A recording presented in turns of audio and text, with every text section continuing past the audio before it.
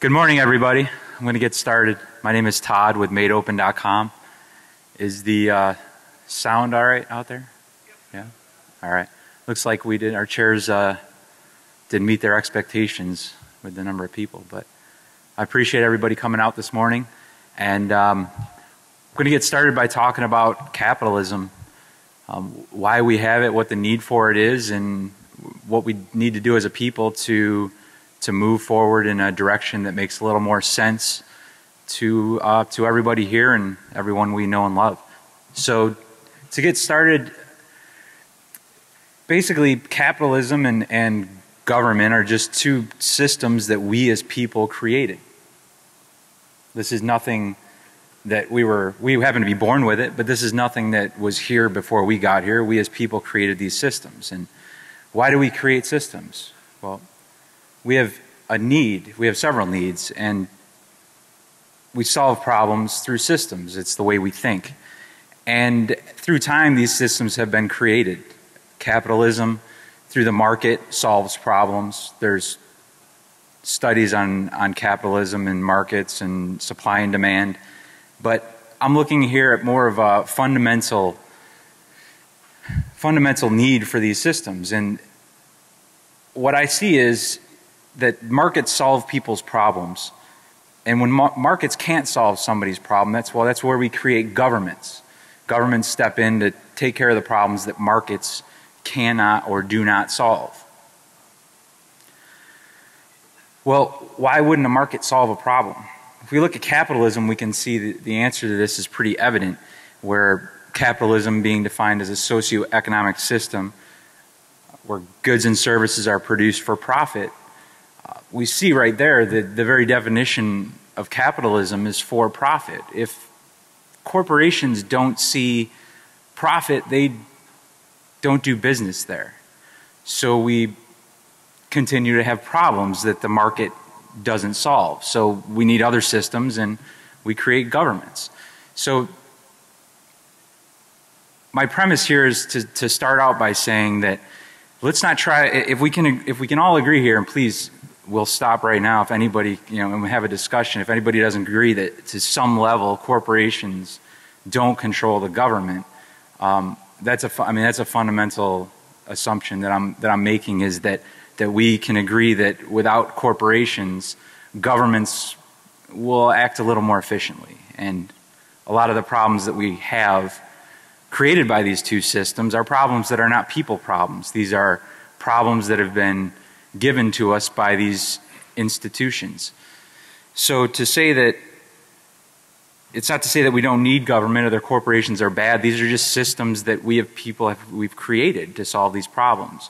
So what I want to do to, is fundamentally get at what, what, what is, as people, what do we want? What do we need? What are we looking to do? You know, we have these systems, but these are old systems. You know, these are, these are systems that are great great relatives, you know, created at some point in time to solve a problem. Corruption has entered over time, and um, but again, I try to stay away from those topics of of corruption because if we can just agree that um, we can attack capitalism here and play the game of capitalism, that this, some of the government things will those will shake themselves out, and we won't have to focus our attention there, and some problems will just disappear. And so what I want to talk about is the is is our problems. What do, what do we have as problems as people? We have we have needs. We have desire. excuse me. We have fundamental needs and desires: um, food, clothing, shelter. We have needs of safety, which enters in the whole idea of currency. Because what is currency but just a futures of something that you want or need? If you didn't want or need anything in the future, you certainly wouldn't have a need for currency. So I want us to start thinking about where are we going? Because I don't think many people are asking that question. We're all caught up in our day to day stuff, and our heads are down, and we work extremely long hours. And, and you know, what, what does this give us in the end? Where are we going? And if we lift our heads up for a second, where, where do we want to be?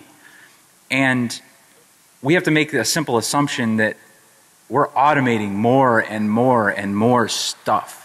And when that stuff gets automated down this path that we're headed down now, with our heads down, you know, we eventually get that pink slip, we get laid off. Automation. It's going to solve our problems, but not our problems at this rate, corporations' problems.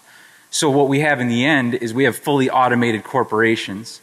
We have several people standing outside these corporations saying, We want your goods or services. And the corporations are saying, Yeah, remember that costs money. And we say, Well, we don't have any jobs anymore. And the point is not to have that discussion. The point is to say, forget that discussion. Let's talk about what we want and need, assuming that we're going to automate everything. Because I, I mean, I think that's a simple assumption to make that at some point in the future, whether it's five or 500 years, that we're going to fully automate everything. So if we think about that as a people and say, okay, how do we control that automation? Because clearly, the way we're doing it now is not going to result in the people owning this automation. So, and again, down that path, nothing, nothing, I don't believe anything good is there. I mean, we could talk for an hour about how we take this thing back when everything is fully automated and whether it's redistribution or wealth or uh, the, all the, you know, revolution, everything that could possibly happen. Let's not get there. Let's be smarter than the people before us, right? Because after all, isn't this really about the future? Isn't this about our children and our children's children? Because at the end of the day, I'm not working so that my bank account can be a certain size so that my kids smile when I die saying, oh, good, I got some money. I'm, I'm looking to make this place better. I'm looking to make this place better in some substantial ways. So, what would a system look like? What would everyone here be happy with? And that's a, you know, we're really talking some ideologies. And to me, the most simple answer to that question is to ask people, what do you want and need? And what are you willing or able to do? Now, with these two questions, these are fundamental questions, and I don't think, you know, good or bad people, it's not the answers don't have to be the same, but the questions.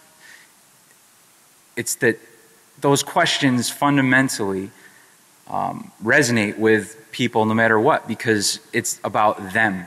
It's about the individual. It's not about the entire collective. We're asking you, what do you want and need? Just tell us. Because, I mean, I would certainly rather be working in a system where I knew what people want and needed and these things were measurable.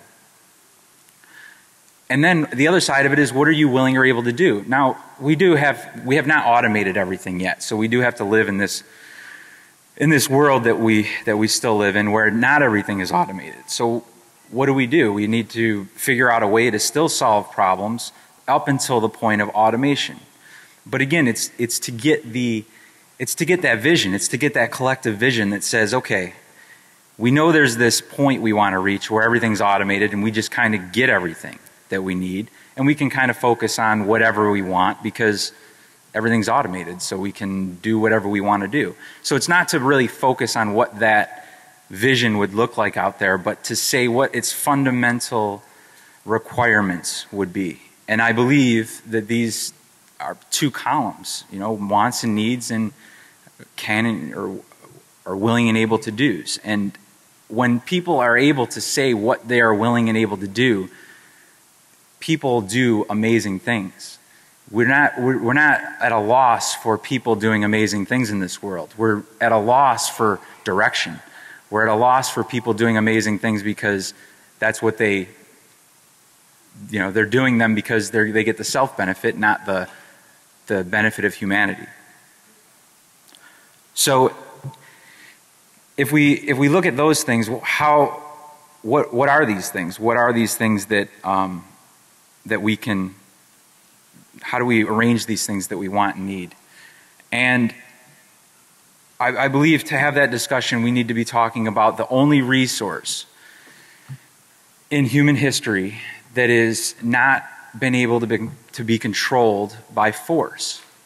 So you can't physically control data like you can physically control oil or land or water.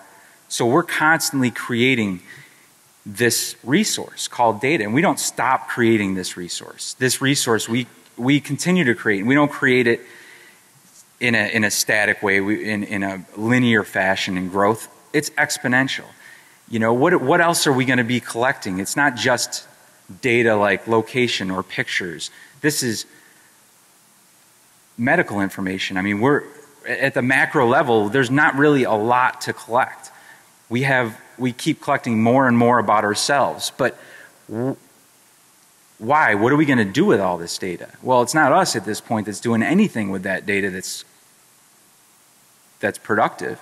It's corporations. And they're just getting a glimpse into what we're all about, into what we do. And they're already calling it big data. What's next?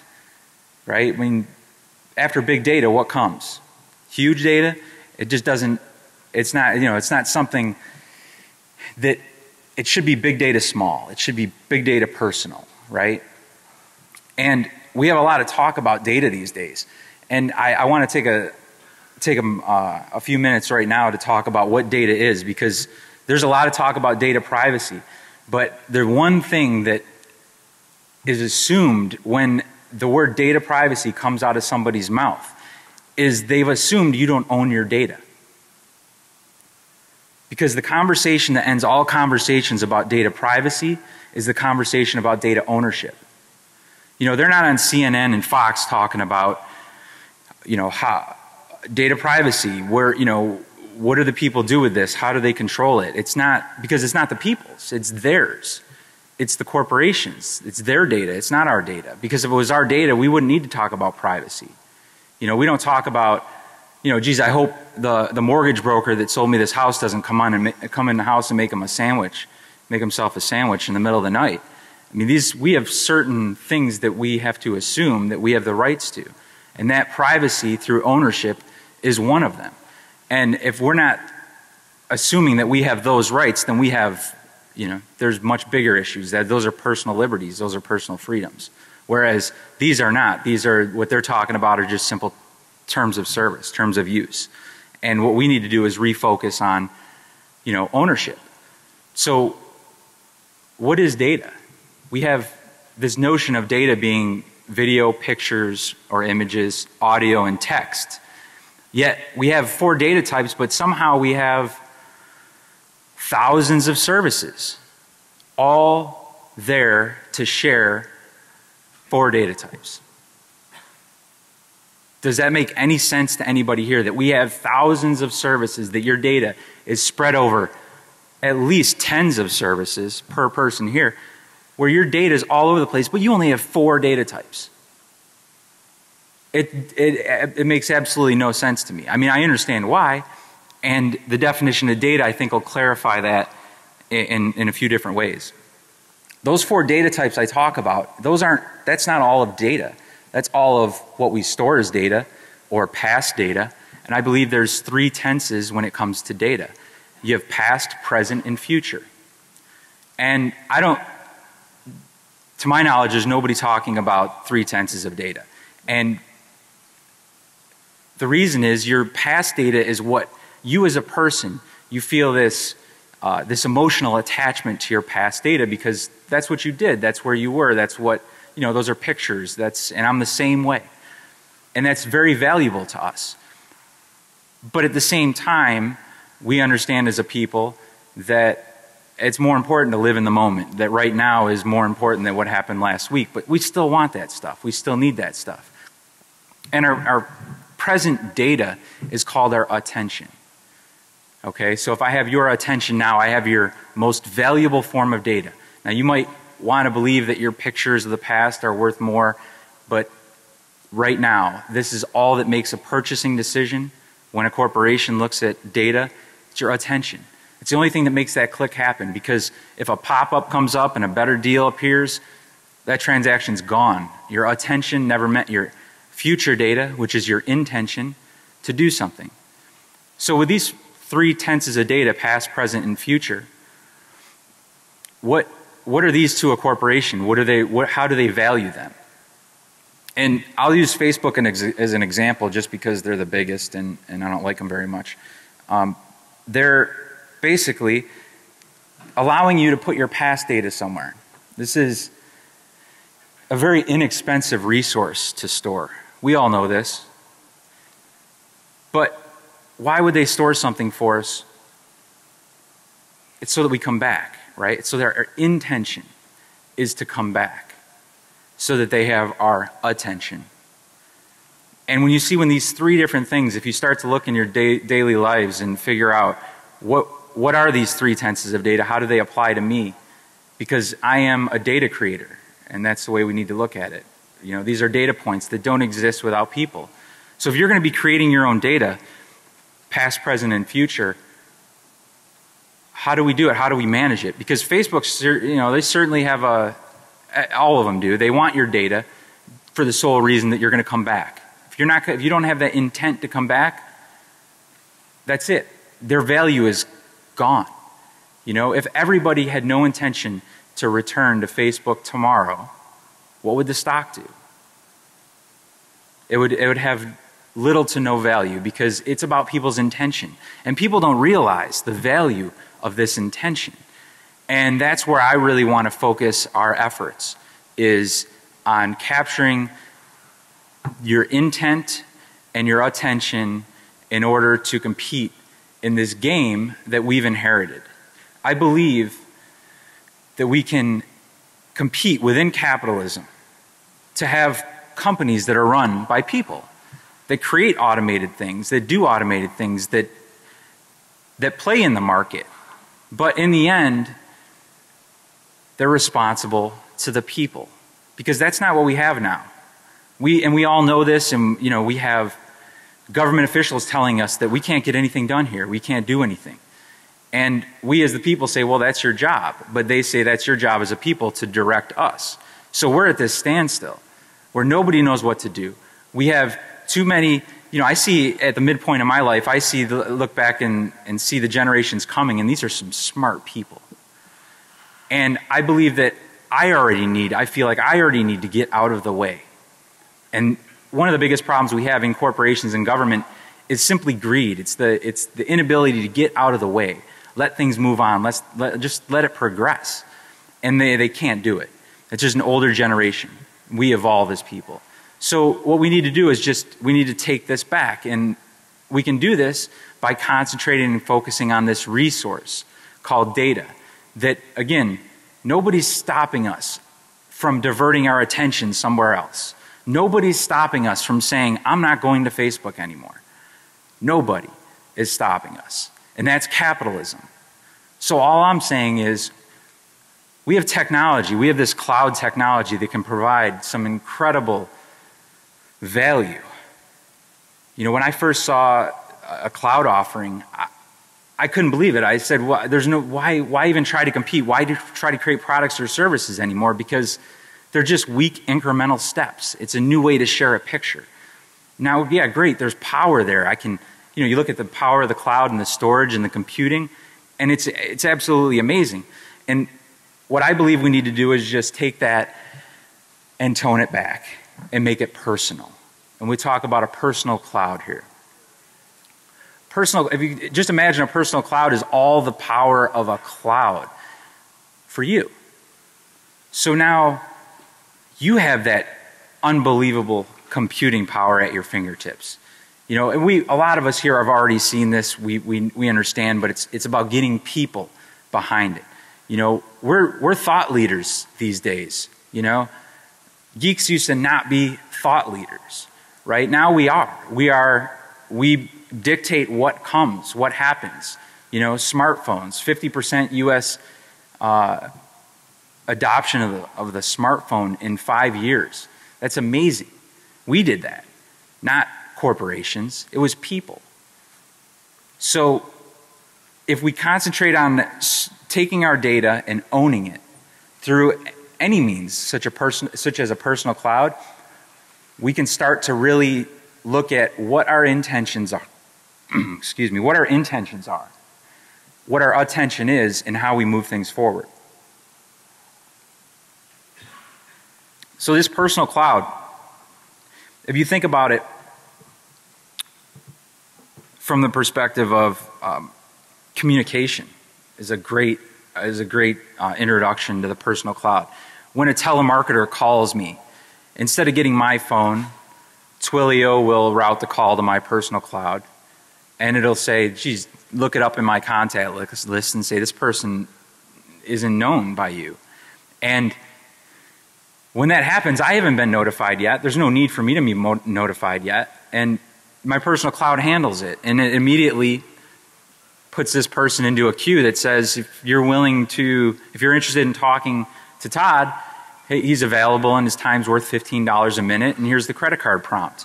So my personal cloud can take the credit card information from this telemarketer and I get paid for my time. And as soon as we start getting paid for our time, it doesn't matter what that attention is. I gave an example of a phone call as being a, a way to put our attention on something. But it's anything. It's a commer- it's, it's YouTube. Like why why do we get interrupted with commercials? That's so it just doesn't even make sense. Like you you irritate the consumer, the advertiser doesn't get their value out of it. Just show them all to me at one time. I don't need to be interrupted. These things are, you know, this is us taking back our attention. This is us putting forth better technology for people, for, for corporations to still compete. But we slowly grab back some of this attention and intention. Intention is very powerful because if we knew what everybody want, wants and needs, that's their intention. If we knew what they wanted and needed, we could deliver on it. And we can deliver on it in a much better way than the market currently delivers on it. Because these companies guessing at what we need, these companies competing to create products that are ultimately the same, but they're all terrible because one's got the best screen, one's got the best keyboard, one's got the best radio, and in the end, you don't have a full solid product because you have 10 genius scientists trying to create the next best screen, all competing against each other, none of them sharing any of, any of their information. And then the winner, it's not winner takes all, it's winner gets to claim that they have the best screen. And then nobody else can use it. So now these genius scientists have to go off and figure out different ways to solve the problem. That's, that doesn't sound like to, that doesn't sound like innovation to me. That sounds like inefficiency. And what I'm saying is if we, we just need one screen, right? I mean, I don't, I don't need, you know, one screen for a smartphone, one screen for whatever it is. I don't need any more than that. But corporations, you know, with through patents and trademarks, they have to they have to do it this way. This is the game they play, right? And I'm just saying, enough's enough. We're, we're sick of playing your game. It's not fun. It creates problems. You know, if you look at the problems of people, you have simple things. When you look at the problems that corporations and, and governments create, this is war, this is genocide, this is terrorism. These are not nice problems. And these are problems that we as people inherit from systems we created. It doesn't make any sense to me.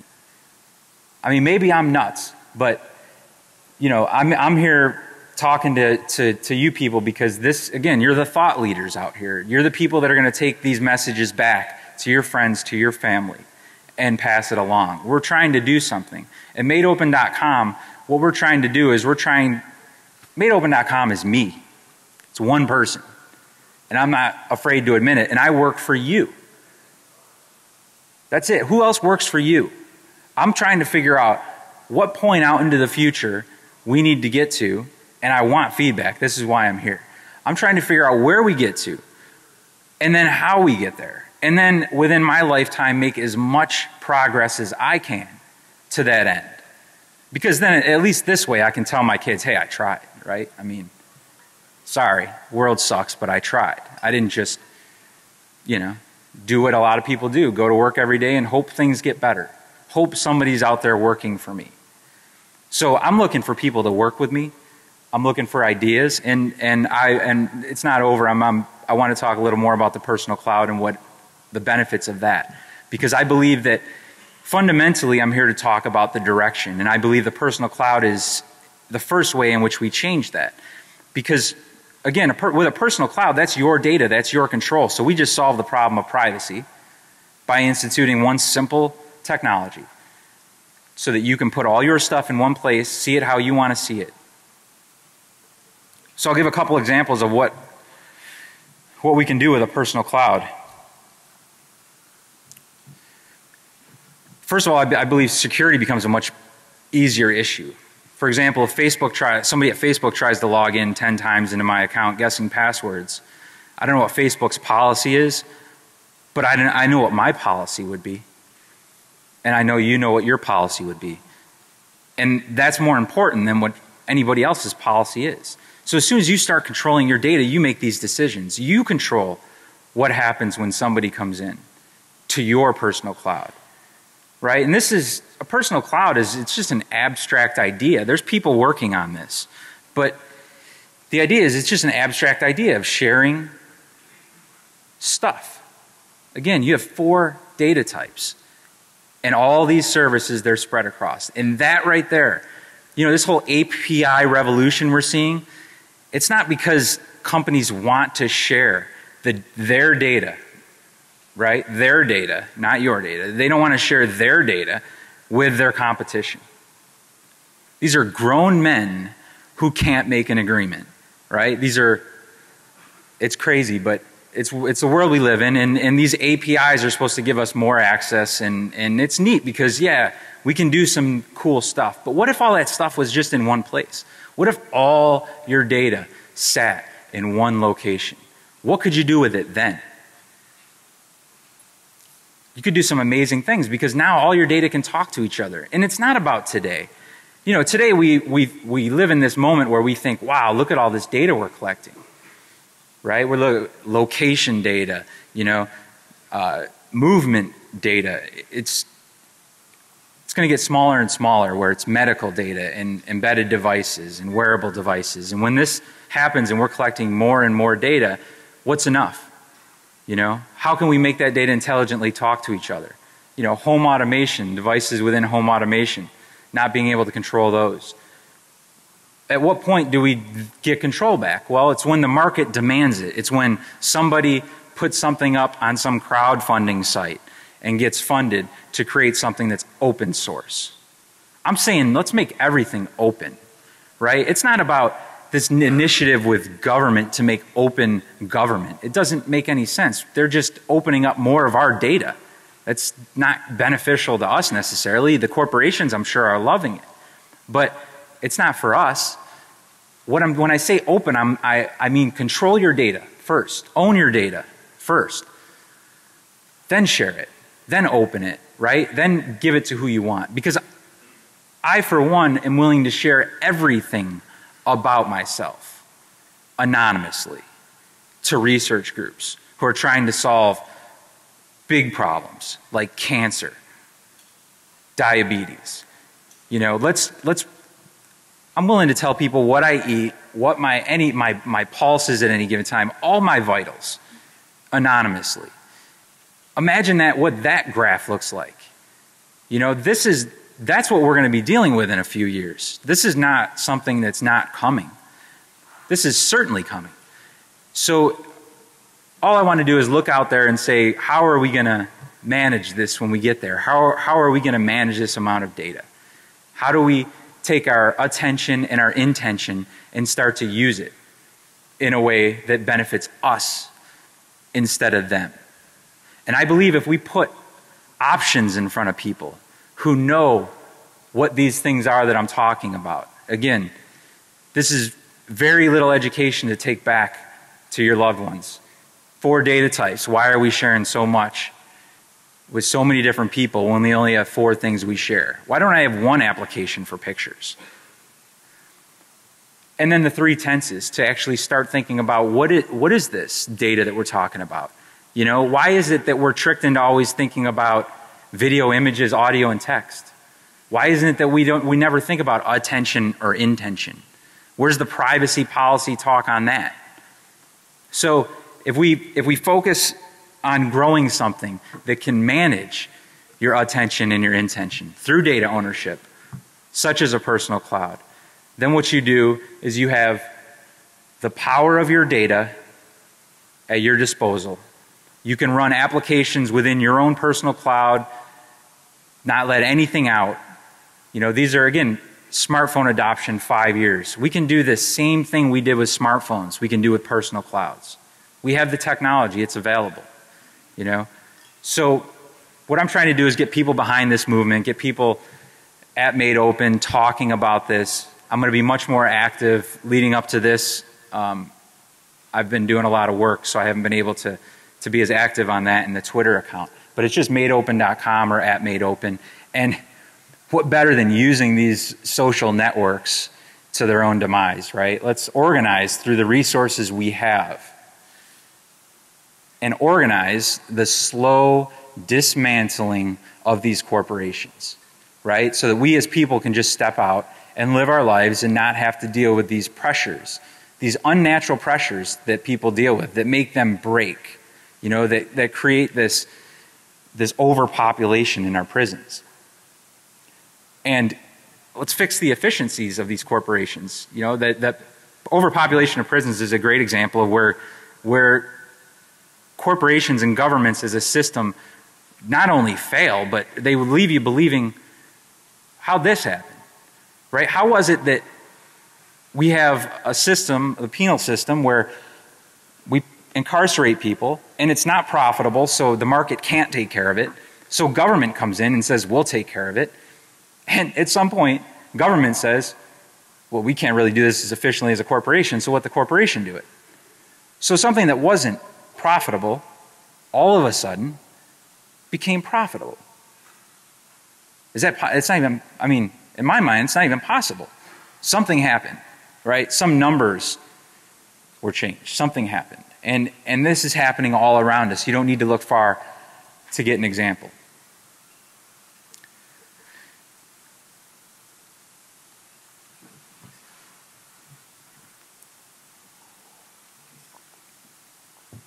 So the personal cloud.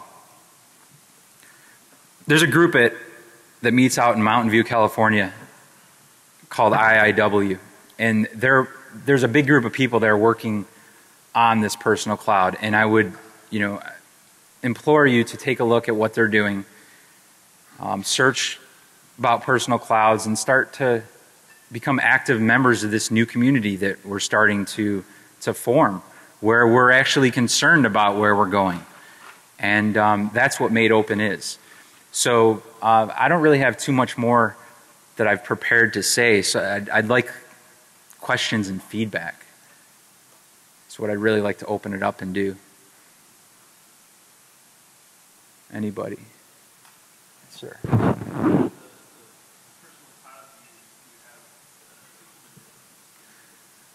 Well, I'm just one person. So if you think about, I mean, technically, I don't know if you're a developer or not, sir, but the, the, the question was how much this personal cloud is done. And there's a bunch of people working on it. They've been working on it, I think, for six or seven years at IIW.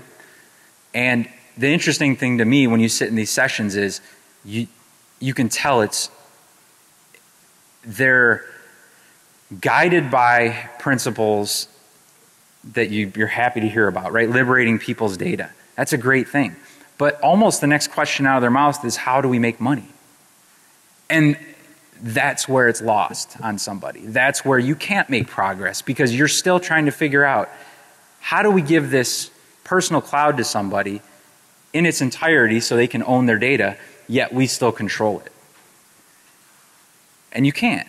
And it doesn't fit a business. It's not supposed to fit a business model. This is for the people right? This is something we need several open source versions of personal clouds where people are working on a platform to do this. And it doesn't take a lot to create a simple personal cloud. If you look at what, you know, AWS, for example, what they're giving us is tools.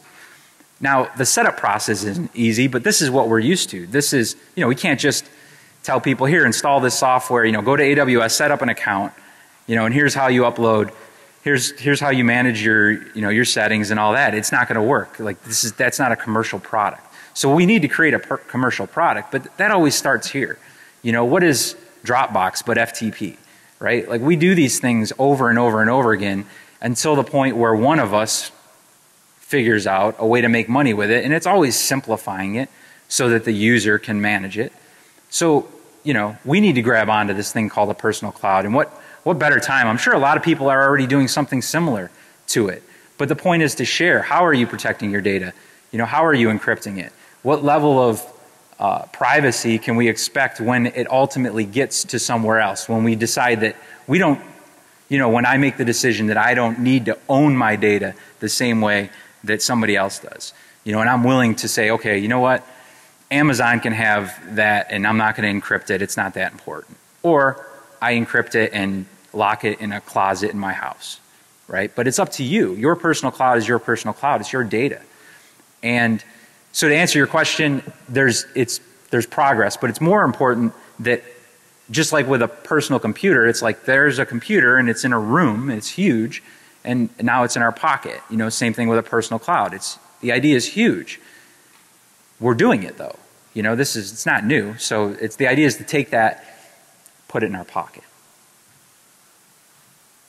Yes. Product called OwnCloud. Yeah, and there's some, there's definitely, you, when you look at these products, there's, you know, you want to just look at what the limitations are, who's owning your data, and, you know, and move from there. Because there are going to be, putting all our data in one place is not, this is where we're going as a people. Like, we need to get our data in one place. The question just is, who are we going to trust with it? So, I mean, there are products like OwnCloud, Spider, Spider is, is, is more secure. OwnCloud, you need to really understand what they're doing. But it's important to understand there's more than just personal data. There's data, let's say, for example, uh, rainfall data, pollution data, right? So we don't own that, and that's okay. But we've got to be able to use that data, and this is where big data products like Hadoop, uh, MapReduce are coming in. There is public utility. Right now it's just being used, you know, to sell more products. You know, and then there are companies like Splunk, which are taking data in motion and using it to send us ads. It seems to me there's, there's a possibility I appreciate what you're saying with personal data, but there's a lot more than that. There's also, for example, if I die, my data, well, I no longer can set rules for it, but that's history?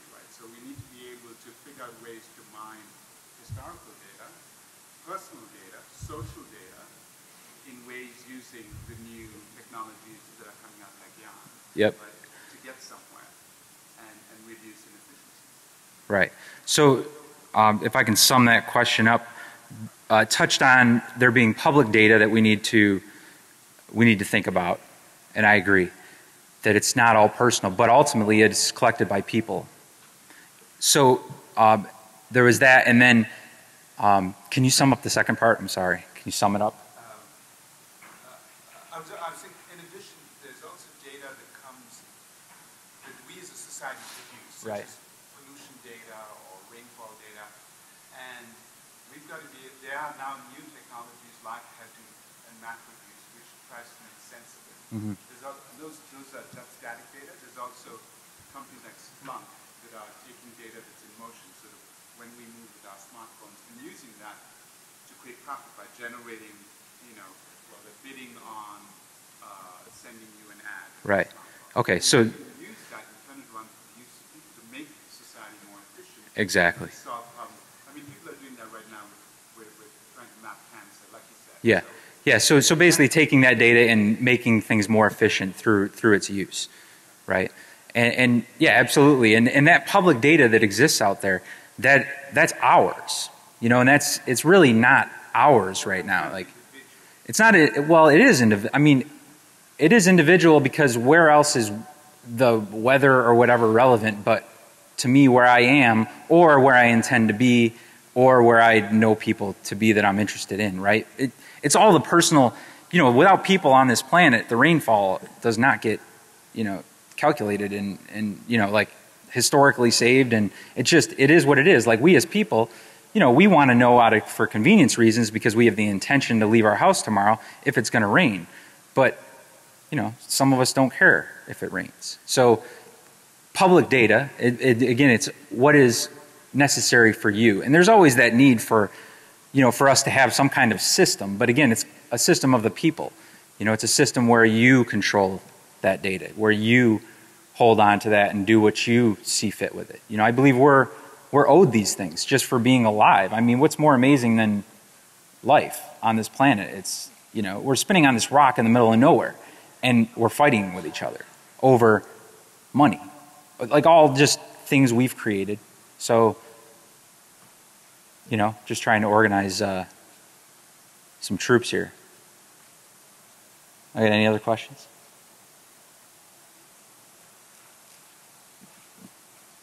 Good? All right. Well, I appreciate your time. Thanks for having me at DEF CON. It's been a great first time, and I look forward to talking with you out in the hall. Thank you.